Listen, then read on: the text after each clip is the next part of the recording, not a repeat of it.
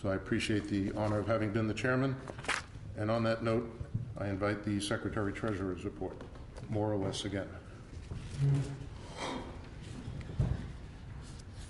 We're pleased to report that our association continues to be in good financial condition. Our revenue from stamping fees for the past fiscal year ending November 30th, 2010 was $9,812,961. Interest income was $37,704 for the year. Total income, including unrealized gain or losses on investments, was $9,850,665. Expenses totaled $8,638,025 for the year.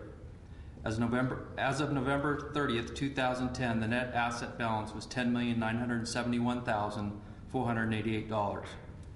On July 8, 2003, the Executive Committee authorized the SLA to maintain three months of average expenditures as an operating fund, plus $500,000 for a litigation fund, and six month average expenditures as a contingency fund.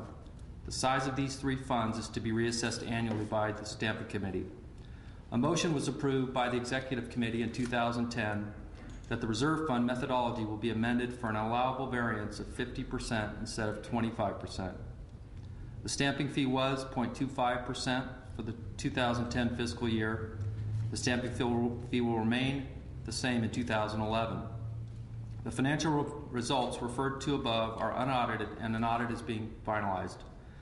A copy of the annual report concerning our financials by our independent accountants, Hood and Strong LLP, will be available to any member by written request to the SLA office to the attention of Secretary Treasurer. That concludes my report. Thank you. I would like to introduce Ted Pierce.